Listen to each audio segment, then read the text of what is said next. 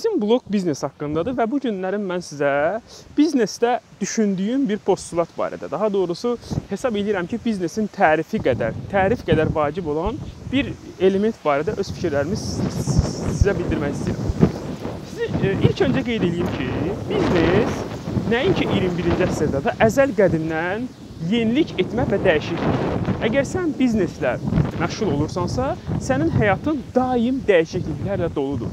Sənin işin daim dəyişikliklərlə doludur. Biznes stabil işin ə, antonimidir. Çünki stabillik biznesdə mümkün deyil. Sən daim önə addım atmalısan və əlbəttə ki, sən önə addım atırsansa, sözsüz ki, ilk öncə sənin ətrafında çoxlu naməlum, sənin üçün məlum olan olmayan hadisələr baş verəcək. Çünki sən qabağa gedirsənsə, qabaqda səni nəyin gözlədiyini proqnoz etmək olar da, dəqiq bilmək mümkün deyil. Sən dala gedəndə, sən demək olar ki, dəqiq bilə biləcəksən ki, sənin nə olacaq, səni gözləyən nədir. Ancaq sən qabağa gedəndə sənin nə gözlədiyini bilmək olmursan. Deməli, biznes daim yeniliklərdir. Siz de, qabağa getməmək də mümkün deyil. Biznes daha əvvəl də demişdik, velosiped kimidir. Sən daim önə getməlisən və əgər sən hərəkət etməsən, sən inkişaf etməsən, sən yıxılacaqsan.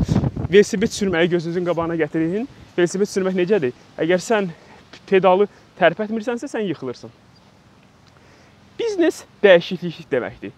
Və bu dəyişikliklərdə ən vacib olan amil dəyişikliyin məğzindən çox dəyişik sürətidir. Başqa sözlə desək, uğurlu biznes qurmağın ən sadə yolu dünyada o sahə dünyada müxtəlif sahələrdə olan yenilikləri diqqətlə təqib etməkdir. O təqibləri rəqiblərindən bir an öncə öz bazarına uyğunlaşdırmaqdır və ən əsası icra etməkdir. İcra hər zaman biz daha əvvəl də bunu sizə demişik, e, ideyanın keyfiyyətindən üstündür. Bəs burada sual çıxa bilər ki, icra mexanizmini həyata keçirmək üçün sahibkar icrada effektiv olmaq üçün hansı addımlara diqqət etməlidir? Birinci biz hesab edirik ki, sahibkar e, yenilik sözündən heç vaxt çəkinməməlidir.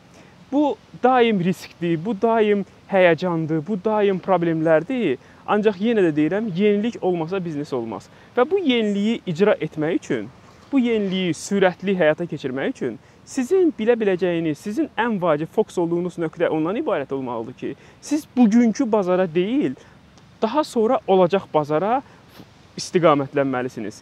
Yəni ki, siz istehlakçılarınızı elə düzgün başa düşməlisiniz ki, bugünkü Azərbaycan istehlakçısı 3 ildən sonra hansı formaya istiqamətlənir, hansı formaya dəyişir və sizin ideyalarınız daim qabağa düşünməli olmalıdır. Daha doğrusu ideyanız şahmat dilində desək, siz ən azı 3-4 gediş əvvəli görməlisiniz. Burada bir gediş demək olar ki, 1 ilə bərabərdir.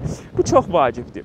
Buna görə də mən bütün bizneslə, sahibkarlıqla məşğul olan dostlarımıza verə biləcəyim tövsiyə ondan ibarətdir ki, çox oxuyan çox bilmir də, çox gəzən çox bilir. Maksimum dərəcədə çox gəzin. Çox gəzmək sizin maddi imkanınızla bağlı bir anlayış deyil. Əgər xaricə getməyə pulumuz yoxdursa, biz Azərbaycanda da gəzə bilərik. Əgər Azərbaycanda pulumuz yoxdursa, biz olduğumuz şəhərdə gəzə bilərik. Daim sizin başqalarınızdan öyrənə biləcəyiniz addım var. Məsəl üçün mən istədiyim rayonda, istədiyim yerdə olduğum zaman mütləq mütləq qaydada edə, edəcəyim birinci amil dükan gəzməkdir.